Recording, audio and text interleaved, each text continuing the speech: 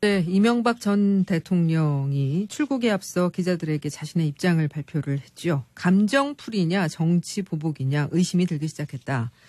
하지만 군 댓글 공작 사건과 관련해서 김관진 전 국방부 장관과 임관빈 전 정책실장이 구속되면서 이명박 전 대통령도 조사를 피해가기는 어려워 보인다고 합니다. 이 조사가 임박한 상황에서의 해외 출국과 입장 표명의 내용 오늘 파워 인터뷰에서는 이 부분 좀 짚어보고요. 그리고 오늘 바른정당이 전당대회를 통해서 새 당대표를 선출합니다. 바른정당발 정계 개편이 진보 진영에까지도 영향을 미칠 수 있을 것인지도 궁금한데요. 자, 박지원 국민의당 의원과 관련 이야기들 좀 나눠보죠. 자, 의원님 안녕하십니까? 네, 안녕하세요. 박지원입니다. 예.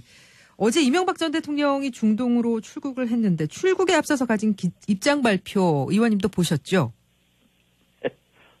그냥 웃었죠, 뭐. 왜 그냥 웃으셨습니까? 아니, 정치 보복과 적폐청산은 구분돼야 되고요. 네. 당신 말씀은 적폐청산이 국론 분열이라고 하는데, 음, 그러면 당신처럼 적폐 생산해야 국론 통합이 되겠습니까? 음. 지금은 그러한 죄상이 모두 밝혀지고 있으니까 예, 예. 전직 대통령답게 반성하고 검찰 조사를 기다리는 음, 그런 자세가 필요한 때입니다. 네네. 그런데 이제 당시 2011년, 2012년에는 북한의 사이버 테러가 급증을 했었고 또 외신에서는 북한이 3만 명의 전자전 병력을 양성하고 있다. 뭐 이런 보도도 있었고요. 그래서 이제 사이버전 전투 능력을 강화해야 한다는 여론이 높았던 시기였다.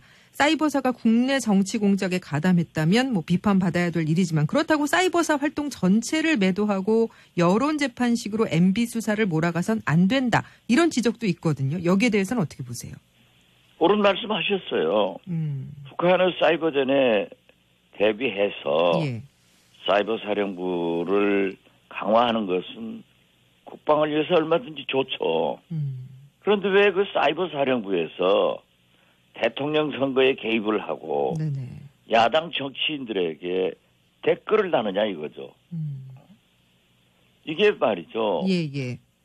지금 김영삼 대통령께서 하나의를 척결을 해가지고 군이 정치 개입을 해서 하지 않아서 구- 국민으로부터 존경을 받았습니다. 음. 그런데 이명박 정부에서 북한하고 싸우라니까 왜 우리 한국 정치인들하고 싸워요? 예, 예. 그게 무슨 할 말이 있어요? 음. 그래서 이제 그 부정적인 측면 뭐 이런 언급을 했잖아요. 그러니까 부정적인 측면이 에, 긍정적인 측면이 부정적인 측면보다 많은데 왜 자꾸 부정적인 측면만 보려 하느냐. 그러니까 잘못을 고치기 위해서 잘한 것까지 파괴해서는 안 된다. 아, 긍정적인 예. 측면이야. 군이 당연히 해야 할 일이고 네. 부정적인 측면은 군이 어떤 경우에도 안 해야 될 일이기 때문에 나오는 것 아니에요. 음. 예. 어, 전방에서 예. 저 북한 군하고 싸우는 것은 당연한 일이지만 네네. 우리 우리 군끼리 싸우면은 그건 안 되는 일 아니에요. 예, 물론 원칙적으로는 안 되는 일이죠. 안 되는 일이죠. 예. 안 되는 일을 해놓고 우리가 잘한 일을 가지고 얘기해야지 왜 그러냐. 음, 예, 예. 이건 군으로서 할 일이 아니고 네. 국군 통수권자인 대통령으로서 할 말이 아니죠. 알겠습니다. 자, 어쨌든 이명박 대통령은 중동으로 출국을 했는데요. 근데 청와대 게시판에 올라온 이명박 전 대통령 출국 금지, 출금 청원이 어제 아침까지 8만 명이 넘었다고 합니다. 이 출국에 대한 적절성 논란은 어떻게 생각하세요? 저도 한 표 던졌으니까 제가 안 했으면 79,999명이 했겠네요. 아, 그 청원 게시판에 직접 한표 예. 서명하셨습니까? 예, 예. 그러셨군요. 그런데 예. 말씀드리지만 네. 물론 전직 대통령으로서 해외 순방 스케줄이 있었으면 다녀오셔야죠. 음, 그러나 자숙하고 예. 그러한 말씀을 안 하시고 가는 것은 좋은데 무슨 뭐 개선 장군 뭐 올림픽 나가는 것처럼 나가니까 그게 문제가 되는 거 아니에요. 음, 지금 뭐라고 하더라도 당신과 함께 일하던 국정원장, 국방부 장관 등 여러 사람이 구속되고 있고 예. 그러한 재상이 나타나고 있잖아요. 예. 그것에 대해서 마치 큰 소리 치고 말이죠. 어? 이렇게 하니까 그러는 거예요. 음. 잘 다녀오셔야죠. 예, 의원님 보시기에 이 MB 정부에 대한 적폐 청산 어디까지 가야 완수된다고 보세요? 저는 국정감사에서도 지적을 했습니다마는 YS 정부 때 소위 말하는 적폐청산 하나의 척결 같은 것을 해서 1년 동안 김영삼 대통령은 94% 지지도 받았어요. 예, 예. 고공행진을 했는데 이 적폐청산 피로증이 옵니다. 음. 그래가지고 너무 어, 국민들이 싫어해서 그 지지도가 추락을 했는데요. 예. 저는 빨리 속전속결로 깃털은 그대로 두고 예. 몸통들을 빨리 척결해 줘야 된다. 음. 그렇게 생각합니다. 몸통이라고 표현을 하셨습니다만은 이명박 전 대통령 말씀을 하시는 건가요? 당연히 몸통에는 이명박 대통령이죠. 음. 왜냐하면 예. 더 슬픈 것은요. 뭐 이명박 대통령을 모셨던 분들이 전부 이명박 대통령이 지시해서 했다, 예. 보고했다 이렇게 나오고 있지 않습니까? 예. 뭐 이게 교육적으로 필요한 말인지 불필요한지 모르겠습니다만은 내가 책임지고 내가 했다. 대통령을 살리려고 하는 그런 음. 참 의리도 없어요. 어. 이렇게 보니까 책임은 이명박 대통령인 거 아닙니까? 예. 자, 어, 전병헌 정무수석은 그 의원 시절 측근들이 뇌물수수, 횡령 등의 혐의로 구속이 됐고 본인도 이번 주에 피의자 신분으로 소환 조사를 받는다는데요. 계속 이렇게 정무수석 자리에 있어도 된다고 보세요? 정무수석 완장을 차고 검찰 수사는 받을 수 없겠죠. 예. 만약 검찰 수사를 받는다고 하면은 물러가는 것이 국민과 대통령에 대한 예의라고 생각합니다. 음. 근데 이 전, 저도요. 예. 김대중 정부 때 문화관광부 장관 재임 시에 예. 제 조카가 한빛은행 대출을 압력했다. 음. 이렇게 해가지고 저는 부인했지만은 예. 언론에서 검찰에서 전부 제 조카라고 했어요. 음. 그런데 동아일보가 제 고향을 찾아가서 과연 내 조카인가 네. 호적부터 족보까지 조사하니까 31촌이 되더라고요. 예. 31촌이 조카겠어요? 음. 그렇지만은 검찰은 의혹이 있으니까 그 자체를 수사해야 된다는 거예요. 음. 그 장관직 물러가서 수사받고 아무런 혐의가 없으니까 나중에 다시 다른 직책으로 중용을 했었어요. 예, 예. 저는 전병헌 수석이 굉장히 그 억울하고 하더라도 예. 대통령을 모시는 정무수석으로서는 어쩔 수 없을 것이다. 음. 그런다고 제가 지금 정무수석의 전병헌 수석이 그러한 혐의가 있다 없다는 모르겠어요. 예. 그러니까 이번 주 피의자 신분 소환 조사 받기 전에 일단 직을 직에서 내려놔야 된다. 뭐 당연히 그런 그래야죠. 말씀이신 거죠. 예. 정무수석 완장 차고 검찰에 출두하면은 검사가 제대로 수사할 수 있겠어요? 음. 또그 결과를 국민이 믿을 수 있겠어요? 예.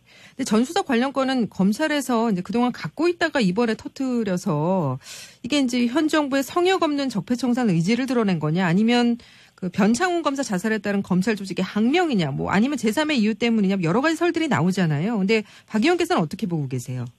그러니까 뭐 언론에서도 어, 권력 투쟁이다.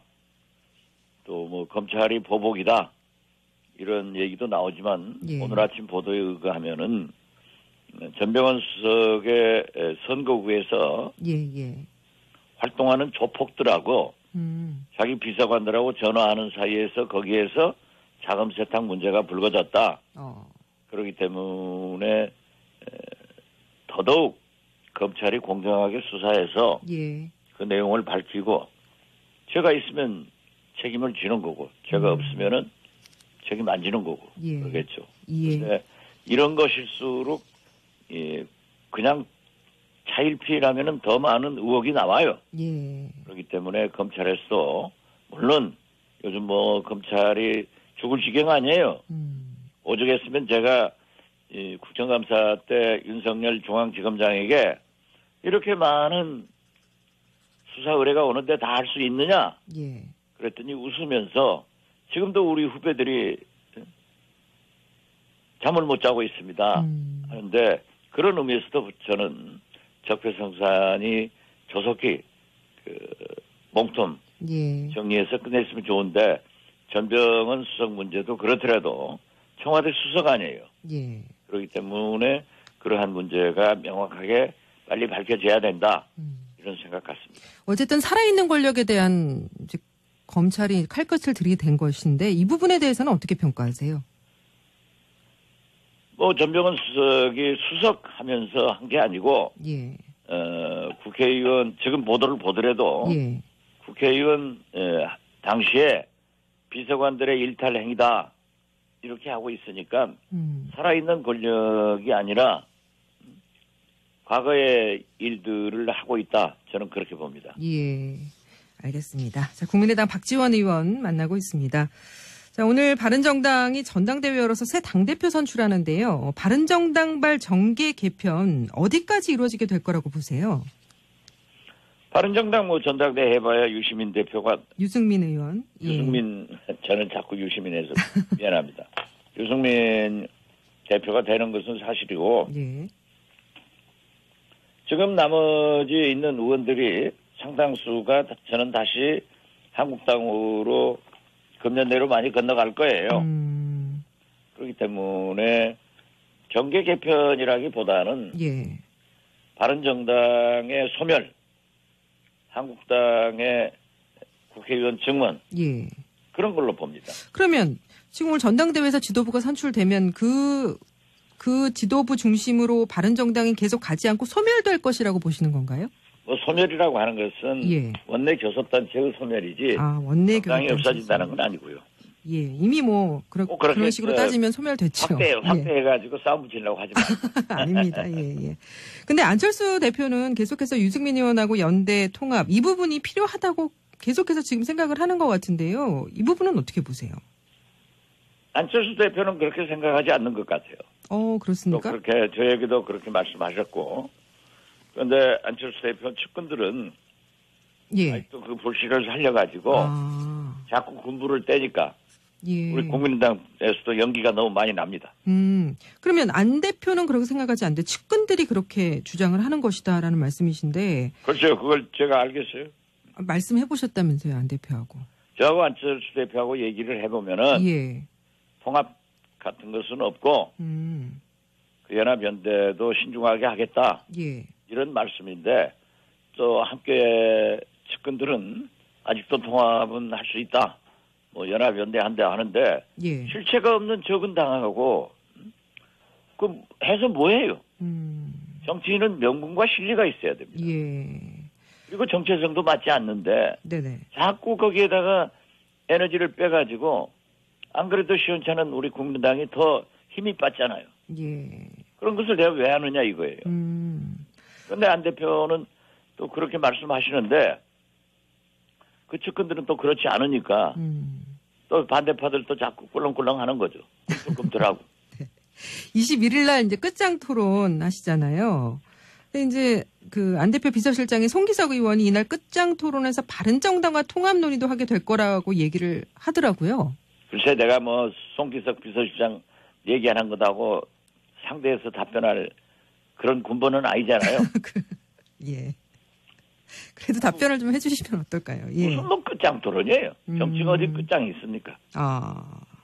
근데 바른정당은 끝장 토론하고 분당되지 않았습니까? 그래서 혹시 국민의당도 끝장 토론해야죠. 음, 예. 그, 안철수 대표의 리더십에 대해서는 뭐 여러 가지 설평들이 많아서요. 정치구단인 박지원 의원께서는 어떻게 평가를 하고 계세요? 저는 안철수 대표가 지금 현재 다시 바른 정당의 원내 교섭단체 붕괴로 인해서 총선 민의대로 3당제가 됐기 때문에 예. 문재인 대통령도 민주당도 한국당도 자기 혼자는 저 아무것도 할 수 없어요 국회에서 그렇죠. 또 더욱이 우리 국회는 과반수가 필요한 게 아니라 3분의 2가 필요해요 음, 국회 선진화법 때문에 그렇죠. 사실상 그 문재인 대통령 타격이 국회에서 클 겁니다. 예. 그렇기 때문에 우리 국민의당이 20대 국회 개원 초처럼 예. 국민 속으로 들어가서 공부하고 음. 우리가 먼저 결정을 해가지고 우리의 방향을 국회에 제시를 하면은 음. 우리가 leading party가 된 선도 정당이 될 수 있다고 예. 예. 그러한 리더십으로 돌아가야지 다 깨져버린 당하고 뭘 해볼까 하고 음. 기웃기웃 하면은 힘이 되겠어요? 음. 그렇게 되면 자꾸 이중대 소리가 들리고 예. 안 그래도 음, 뭐 음, 바른정당, 한국당,